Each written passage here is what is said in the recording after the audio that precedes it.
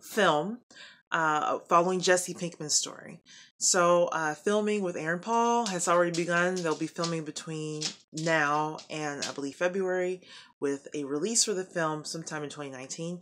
Now, they're saying that this, like the Walking Dead films, would be TV only. However, I think that they will be partnering with um, AMC movie theaters as uh, they did earlier for season 8 for the season 8 premiere.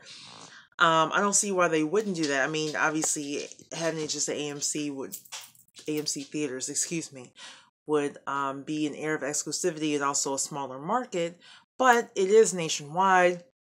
Uh, people do want to see things like that on the big screen. Like, I'd love to see a Jesse Pinkman story on the big screen. I'd love to see Rick Grimes story on the big screen. Like, if it's just an AMC TV movie going the route of Netflix, like, I'd rather see it in the theater. But regardless of whatever they do, um, I'm very excited for this story. I'm very excited to see what happens to Jesse. And I'm wondering if at some point they're going to just go ahead and converge the two universes.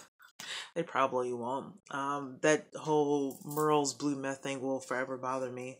Um, but uh, yeah, I don't know what they're calling it. Uh, but look out for that film sometime next year.